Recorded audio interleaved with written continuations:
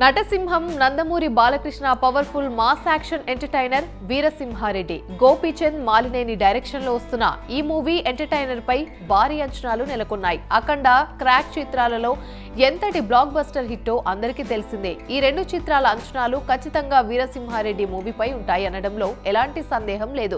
ఇప్పటికే వీరసింహారెడ్డి సినిమా నుంచి రిలీజ్ అయిన బాలయ్య లుక్ మరియు టీజర్కు ట్రెమండస్ రెస్పాన్స్ వచ్చింది. బాలయ్యకి కలిసి వచ్చే జానర్ కావడంతో ఈ మూవీలో విలన్ ఎవరు అనే దానిపై అందరికీ ఆసక్తి నెలకొంది. ఈ క్రమంలో ఈ మూవీ నుంచి అప్డేట్స్ ఎప్పుడు వస్తుందా అని అందరూ ఎదురు చూస్తున్న టైంలో ఓ సరికొత్త అప్డేట్ వచ్చింది. కేజీఎఫ్ టూలో ఆండ్రూస్ పాత్రలో నటించి యమక్రేజ్ సొంతం చేసుకున్న స్టార్ అవినాష్ వీరసింహారెడ్డి మూవీలో బాలయ్యను ఢీ కొట్టబోతున్నట్లుగా వచ్చిన వార్త సినిమాపై మరింతగా ఆసక్తిని పెంచుతుంది.